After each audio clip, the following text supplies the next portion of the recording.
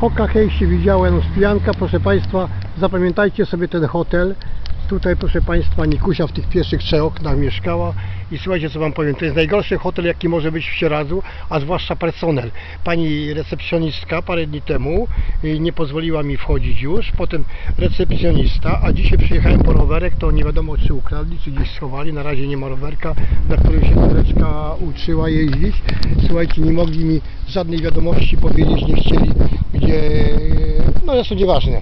Y, Mam swoje powody, żeby Wam powiedzieć, nie przyjeżdżajcie do tego hotelu. Y, Obsługa straszna pod tym względem. Pierwsze dni nie było żadnych problemów, a teraz będę Wam odradzał. To jest najgorszy hotel, jaki może być, zwłaszcza recepcjoniści. W hotelu jako tako, ale y, te panie będą miały ze mną do czynienia. I ten pan tak samo kachej się widział, Janusz Pijanka. Także coś dalej z tego będzie się kręciło jeszcze.